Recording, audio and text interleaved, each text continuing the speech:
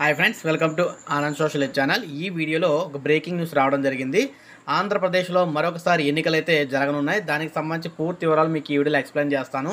ఎందుకు పెడుతున్నారు ఎక్కడ పెడుతున్నారు ఏంటి అనే దానికి సంబంధించి ఇక టాపిక్లోకి వెళ్ళిపోదాం. ఈ వీడియోని ఇస్తే ఒక లైక్ చేయండి. ఇటువంటి మరికొన్ని వీడియోస్ కోసం సబ్స్క్రైబ్ చేసుకొని ఫాలో అవుతున్నాను త్వరలో పదకొండు మున్సిపాలిటీలు రెండు నగరపాలక సంస్థలకు ఎన్నికలు. రెండు రోజుల క్రితం రాష్ట్ర ఎన్నికల కమిషనర్ నీలం సాహినితో మున్సిపల్ అధికారుల భేటీ. ముప్పై రెండు మున్సిపాలిటీలు నాలుగు కార్పొరేషన్లో వివిధ కారణాలతో ఆగిన ఎన్నికలు. వాటిలో కోర్టు వివాదాలు లేని చోట ఎన్నికల నిర్వహణకు సన్నాహాలు. కరోనా పరిస్థితుల ఆధారంగా ఎన్నికల తేదీలపై నిర్ణయం తీసుకునే యోచన. ఖాళీగా ఉన్న సర్పంచ్ ఎంపీటీసీ జడ్పీటీసీ ఎన్నికలపైన పంచాయతీరాజ్ అధికారులతో చర్చ. నెల్లూరు శ్రీకాకుళం నగరపాలక సంస్థతో పాటు అంతకుముందు ఎన్నికలు ఆగిపోయిన పదకొండు మున్సిపాలిటీలకు త్వరలో ఎన్నికలు నిర్వహించేందుకు రాష్ట్ర ఎన్నికల సంఘం కసరత్తు ప్రారంభించింది. ఇందుకు సంబంధించి రెండు రోజుల క్రితం రాష్ట్ర ఎన్నికల కమిషనర్ నీలం సాహిని అధికారులు అయితే ఇక్కడ ప్రాథమికంగా సమావేశం జరిగింది. ముఖ్యంగా చూసుకున్నట్లయితే ఇక్కడ గత ఏడాది మార్చి నెలలో రాష్ట్రం అంతా మున్సిపల్ ఎన్నికల నిర్వహణకు నోటిఫికేషన్ జారీ చేయగా ఈ ఏడాది ఫిబ్రవరిలో పోలింగ్ నిర్వహించిన విషయం తెలిసిందే.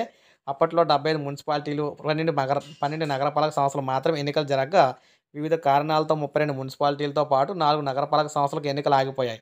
వాటిలో ఒకటి ఆకివీడు పశ్చిమ గోదావరి జగ్గైపేట కొండపల్లి ఇక్కడ కొండపల్లి రెండు కూడా కృష్ణా జిల్లా దాచేపల్లి గురజాల గుంటూరు జిల్లా దర్శి ప్రకాశం జిల్లా బుచ్చిరెడ్డిపాలెం నెల్లూరు జిల్లా కుప్పం చిత్తూరు జిల్లా బేతంచెర్ల కర్నూలు కమలాపురం వైఎస్ఆర్ కడప జిల్లా పెనుగొండ అనంతపురం జిల్లా మున్సిపాలిటీలతో పాటు నెల్లూరు శ్రీకాకుళం నగరపాలక సంస్థలకు ఎన్నికలు నిర్వహించేందుకు కోర్టు ఆటంకాలు అయితే ఏమీ లేవని మున్సిపల్ అధికారులు రాష్ట్ర ఎన్నికల కమిషనర్కి అయితే దృష్టికి తీసుకెళ్ళారనమాట ఈ నేపథ్యంలో ఆయా మున్సిపాలిటీలు నగరపాలక సంస్థల్లో ఎన్నికల నిర్వహణ సన్నద్ధతపై రాష్ట్ర ఎన్నికల కమిషనర్కు అధికారికంగా నివేదిక ఇవ్వాలని ఎన్నికల కమిషనర్ నీలం సాహిని మున్సిపల్ అధికారులకు అయితే సూచించినట్లు తెలిసింది.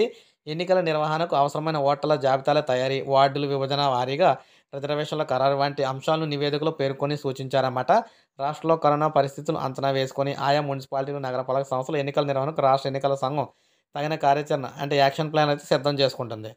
ఇక ముఖ్యంగా గ్రామీణ ఎన్నికలకు కూడా సన్నదం గ్రామాల్లో నిలిచిపోయిన సర్పంచ్ ఎంపీటీసీ జడ్పీటీ స్థానాల గురించి కూడా రాష్ట్ర ఎన్నికల సంఘం ఇక్కడ చర్చించడం అయితే జరిగింది.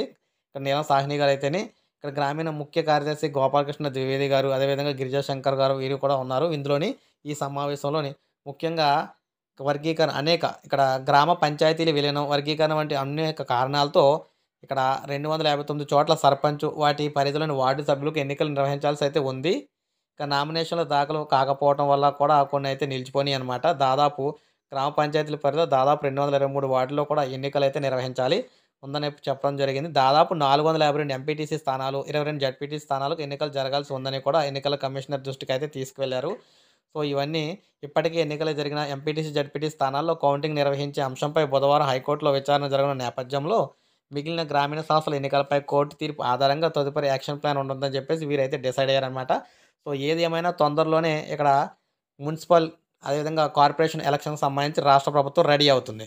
సో ఇది ఫ్రెండ్స్ ఈ వీడియో. ఈ వీడియో నచ్చితే లైక్ చేయండి. ఇటువంటి మరికొన్ని వీడియోస్ కోసం మన ఛానల్ సబ్స్క్రైబ్ చేసుకొని ఫాలో అవుతుండండి.